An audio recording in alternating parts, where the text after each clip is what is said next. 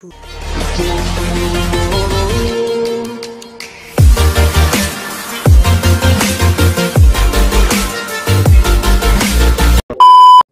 sahabat Imatus, kali ini saya akan membagikan tutorial bagaimana caranya menyembunyikan subscriber. Kadang kalian pasti bertanya-tanya, kenapa ya channel si A kok subscribernya nggak terlihat atau hilang? Sebenarnya itu disembunyiin ya. Jadi kalau kalian ingin subscribernya tidak bisa dilihat orang lain, kita bisa menyembunyikannya. Maaf sahabat, ini uh, saya ngomongnya agak belibet karena lagi sariawan uh, masih azan kita jeda dulu ya oke kita lanjutkan pertama-tama kalian harus punya aplikasi Chrome kalau di HP kalian belum ada kalian download dulu ya di Play Store langsung saja kita klik Chrome-nya Nah, di list e, bawah itu di menu bar kalau belum ada YouTube, kalian bisa ketik ditelusuri. Karena sudah ada, saya tinggal klik.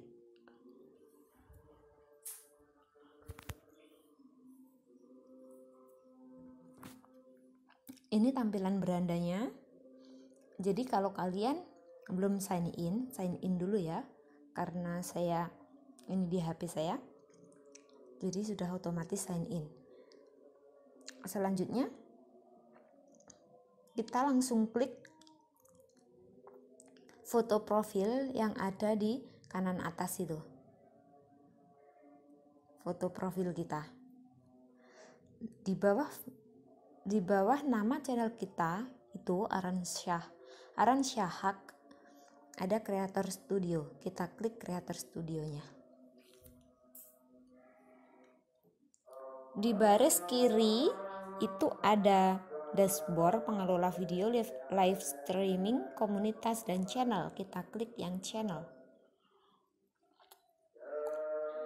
Setelah itu ada beberapa opsi default upload pencitraan merek dan lanjutan. Kita klik yang lanjutan.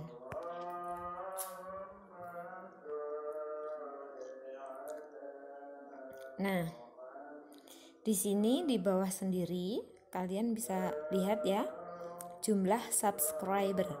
Tampilkan jumlah subscriber subscriber channel saya dan jangan tampilkan jumlah jumlah subscriber channel saya. Kalian bisa klik yang jangan tampilkan jumlah channel saya. Itu ada opsi-opsi yang lain kalau kalian pengen mempelajari tapi karena ini adalah tutorial bagaimana cara kita menyembunyikan subscriber kita oke langsung klik simpan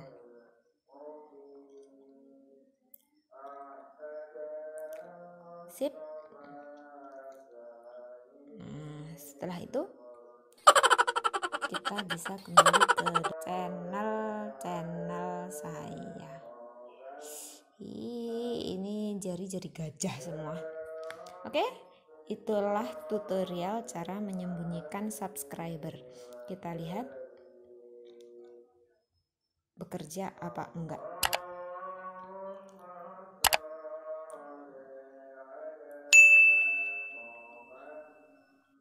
Oh, loadingnya lama banget.